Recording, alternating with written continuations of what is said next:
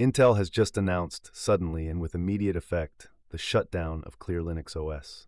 Who cares, right? It's just a niche distro. Nobody ever used it.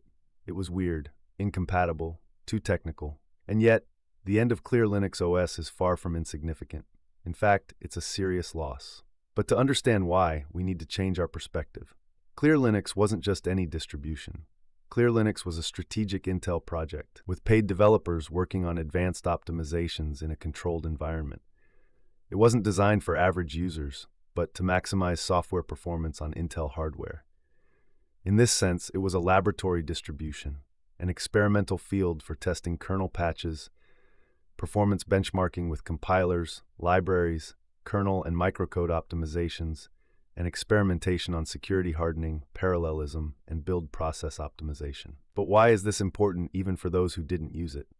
Many of the innovations developed in this distro quietly shaped the broader Linux ecosystem. We're talking about real deep optimizations, improvements to glibc, OpenMP, GCC, LLVM, early experiments with systemd boot, and a unique modular bundle system.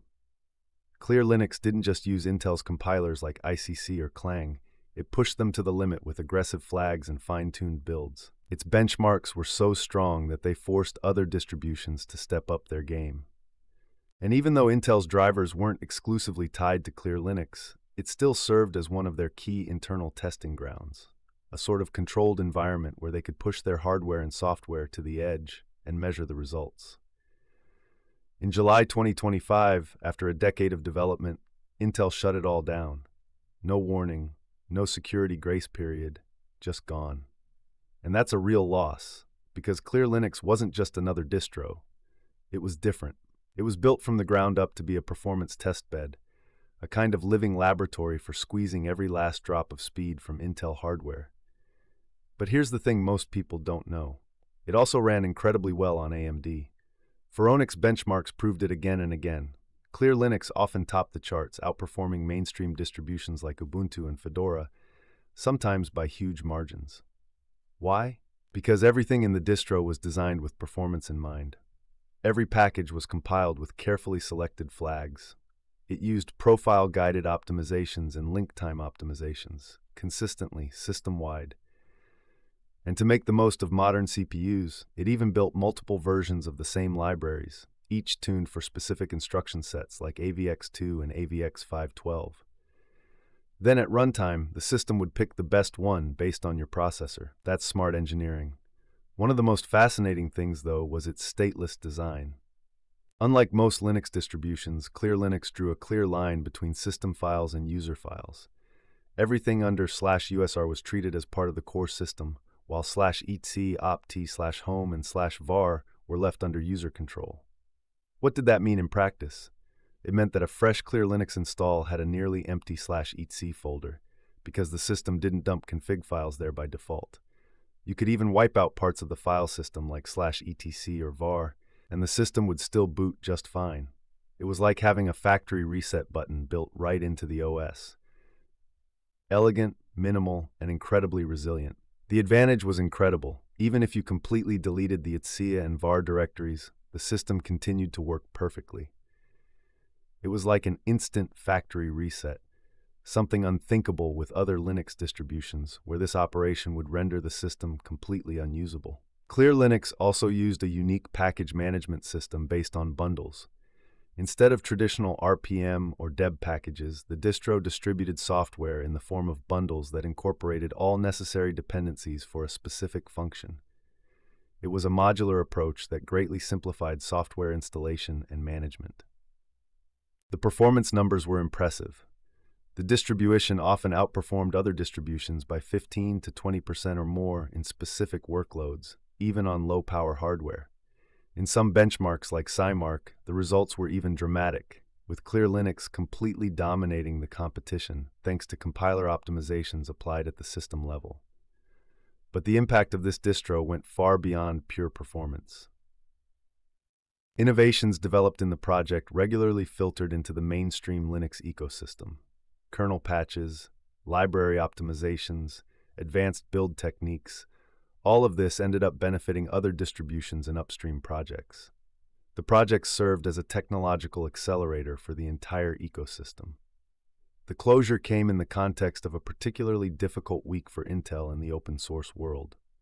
Several prominent Linux engineers left the company, some upstream drivers were left orphaned, and various software engineers working on open source and Linux projects were laid off as part of Intel's latest restructuring.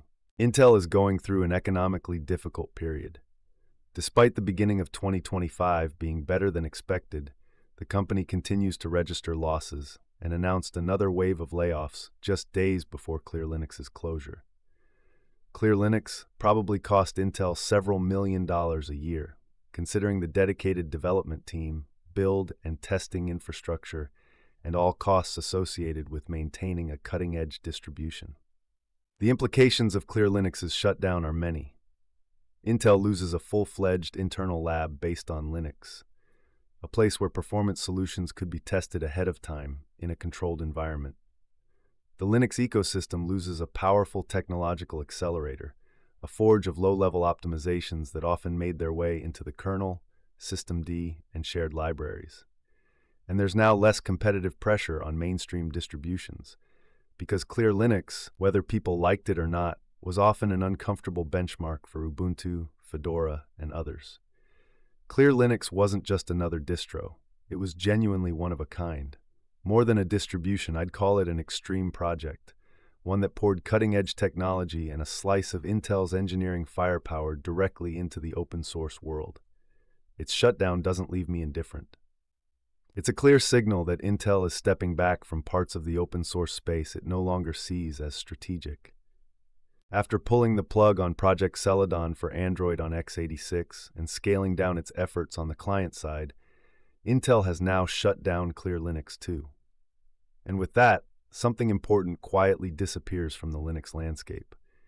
It's a qualitative loss for those working in performance optimization and a signal that open source needs new sponsors willing to fund experimental infrastructures not just finished products. The most revolutionary innovations often emerge from research projects like Clear Linux, which require long-term investments without immediate guarantees of economic return.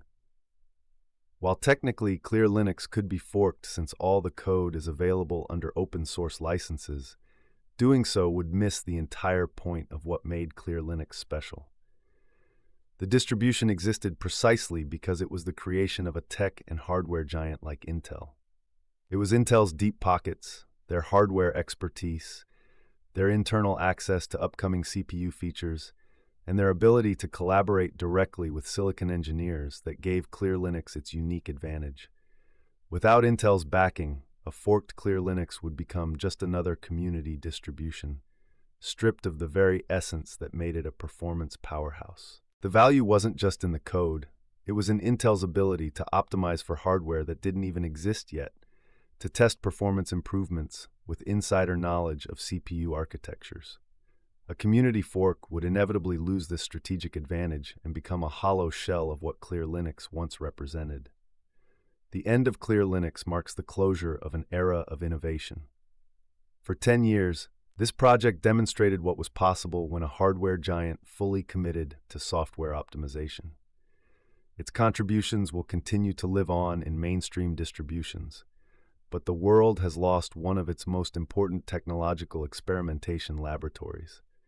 And those who think it's not important simply never understood that the real magic wasn't in the final product, but in the unprecedented combination of resources and expertise that made Clear Linux possible. What worries me even more about this whole story is Intel's current strategic position in the chip market. It's complex and marked by a deep transition. We're not talking about a company in free fall, but it's no longer the untouchable powerhouse that used to dominate the industry either. In short, Intel is struggling, but it's not doomed. Yet. But there are serious risks if its strategy fails. And if that happens, we lose one of Linux's greatest allies in hardware compatibility, driver support, and ecosystem adoption.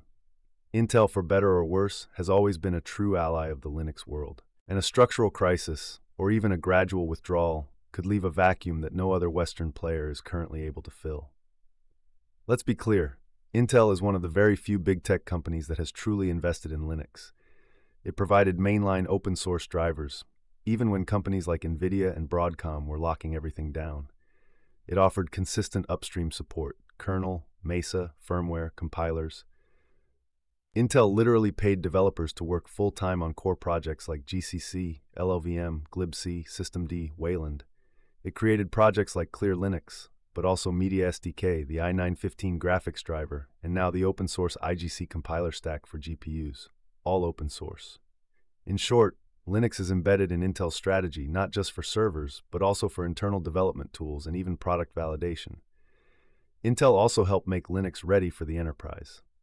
Its CPUs are still among the most heavily tested in mission critical Linux environments. Many key optimizations and power management features, like HWP or RAPL, come directly from Intel.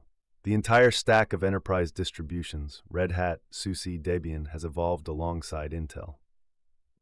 Now, I know all of this doesn't make Intel a saint. It's a corporation like any other, one that seeks control, exploits Linux, and uses it to drive its business.